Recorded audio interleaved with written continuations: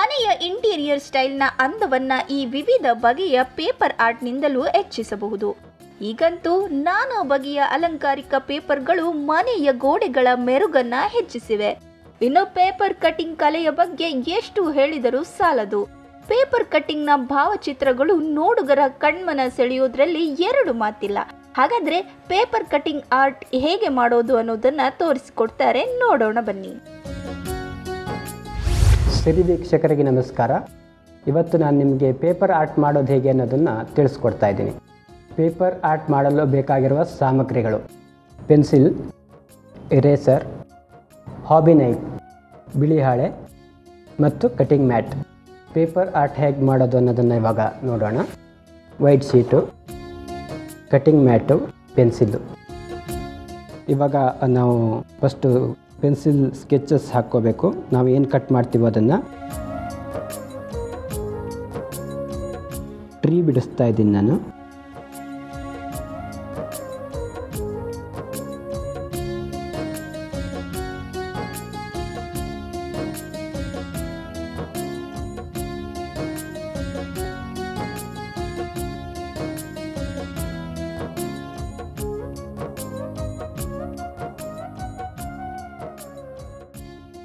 ಇವಾಗ ಈ ಚಿತ್ರ ಕಂಪ್ಲೀಟ್ ಆಗ್ತಾ ಇದೆ. ಇವಾಗ ಕಟ್ ಮಾಡೋದು ಹೇಗೆ ಅಂತ ತೋರಿಸ್ತೀನಿ. ನೈಫ್ನ ಆದಷ್ಟು ಸ್ಟ್ರೈಟಾಗಿ ಇಟ್ಕೋಬೇಕು. ಹೇಗೆ ಲೈನ್ ಇದೆಯೋ ಅದೇ ಥರ ಕಟ್ ಮಾಡ್ತಾ ಬರಬೇಕು. ತುಂಬ ಜನ ಇದರಲ್ಲಿ ಕತ್ರಿ ಕೂಡ ಯೂಸ್ ಮಾಡ್ತಾರೆ. ಬಟ್ ಈ ಥರ ಚಿತ್ರಗಳಿಗೆ ಇಂಟ್ರಿಕೇಟ್ ಆಗಿ ಮಾಡೋ ಚಿತ್ರಗಳಿಗೆ ಕತ್ರಿ ಯೂಸ್ ಆಗಲ್ಲ. ನೀವು ಇದನ್ನ ನೈಫ್ ನೈಫಲ್ಲೇ ಮಾಡಬೇಕಾಗತ್ತೆ. ಯಾಕೆಂದರೆ ನಿಮಗೆ ಕತ್ರಿ ಎಲ್ಲ ಕಡೆ ಇಂಟ್ರಿಕೇಟ್ ಕಟ್ ಮಾಡೋದಕ್ಕೆ, ಒಳಗಡೆ ಎಲ್ಲ ಕಟ್ ಮಾಡೋದಕ್ಕಾಗಲ್ಲ. ಹಾಗಾಗಿ ನೈಫ್ನ ಯೂಸ್ ಮೇ ಯೂಸ್ ಮಾಡಬೇಕಾಗತ್ತೆ.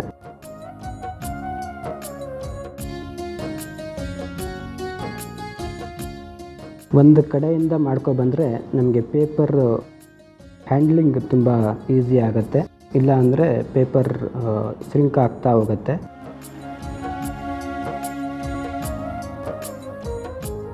ಈಗ ನಿಮಗೆ ಅನುಕೂಲ ಆಗೋ ರೀತಿಗೆ ಅದನ್ನ ಪೇಪರ್ನ ತಿರುಗಿಸ್ಕೊಳ್ತಾ ಬರಬೇಕು ನೀವು. ಈಗ ಎಲ್ಲ ಕಡೆ ನೀವು ಪೇ ನೈಫ್ನ ಟರ್ನ್ ಮಾಡೋಕ್ಕಾಗಲ್ಲ. ಹಾಗಾಗಿ ಪೇಪರ್ನೇ ಟರ್ನ್ ಮಾಡ್ಕೋಬೇಕಾಗತ್ತೆ.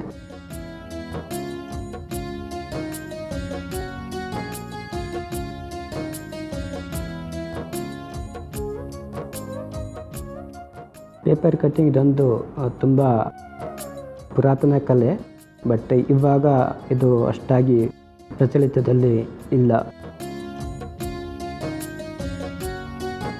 ಭಾರತದಲ್ಲಿ ಕೆಲವೇ ಕೆಲವು ಆರ್ಟಿಸ್ಟು ಇವಾಗ ಈ ಕಲೆಯನ್ನು ಮಾಡ್ತಾ ಇದ್ದಾರೆ.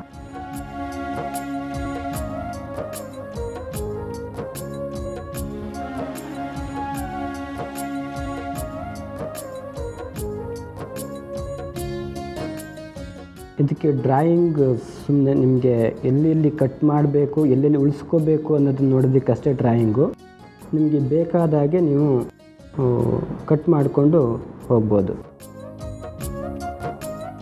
ಪೇಪರ್ ಕಟ್ಟಿಂಗಲ್ಲಿ ಮುಖ್ಯವಾಗಿ ಎರಡು ಪಾರ್ಟ್ ಬರುತ್ತೆ. ಒಂದು ಉಳಿಸ್ಕೋಬೇಕಾಗಿರೋದು, ಇನ್ನೊಂದು ತೆಗೆದುಹಾಕಬೇಕಾಗಿರೋದು. ಮುಖ್ಯವಾಗಿ ಪ್ರಾರಂಭ ಮಾಡಬೇಕಾದ್ರೆ ನಾವು ಅದನ್ನ ನೋಡ್ಕೋಬೇಕು. ಯಾವುದನ್ನು ಉಳಿಸ್ಕೋಬೇಕು ಮತ್ತು ಯಾವುದನ್ನು ಕಟ್ ಮಾಡಬೇಕು.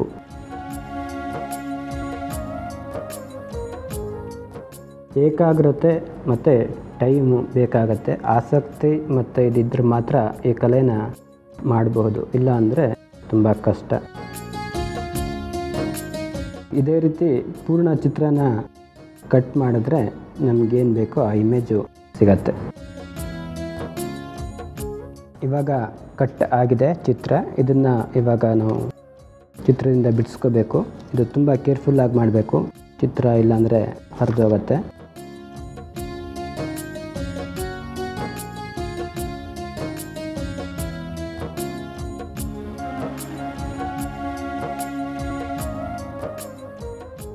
ಇದನ್ನು ಬೇಕಾದರೆ ನೀವು ಕಲರ್ ಮಾಡ್ಕೋಬೋದು. ಇದೇ ಥರ ಬ್ಲ್ಯಾಕ್ ಆ್ಯಂಡ್ ವೈಟ್ ಕೂಡ ಫ್ರೇಮ್ ಹಾಕಿಸಿ ಮನೆಯಲ್ಲಿ ಪೇಂಟಿಂಗ್ ಥರ ಇಟ್ಕೋಬೋದು. ನೋಡೋದಕ್ಕೆ ತುಂಬ ಚೆನ್ನಾಗಿ ಕಾಣಿಸುತ್ತೆ.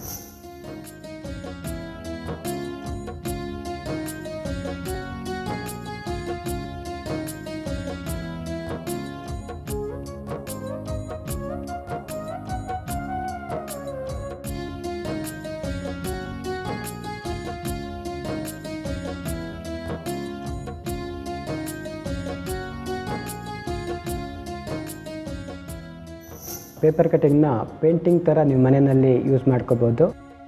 ಲೈಟ್ ಬಾಕ್ಸ್ ಥರ ಯೂಸ್ ಮಾಡ್ಕೋಬೋದು, ಲೈಟ್ ಬಾಕ್ಸ್ ಮಾಡಿ ಹಾಕ್ಕೋಬೋದು. ಪೇಪರ್ ಆರ್ಟ್ಗೆ ತುಂಬ ಏಕಾಗ್ರತೆ ಬೇಕಾಗಿರೋದ್ರಿಂದ ಚಿಕ್ಕ ಮಕ್ಕಳನ್ನು ನೀವು ಇದಕ್ಕೆ ಹೇಳ್ಕೊಟ್ಟು ಅವ್ರನ್ನ ತೊಡಗಿಸಿದ್ರೆ ಅವರಿಗೂ ಮಾಡೋದಕ್ಕೆ ತುಂಬ ಖುಷಿ ಇರುತ್ತೆ.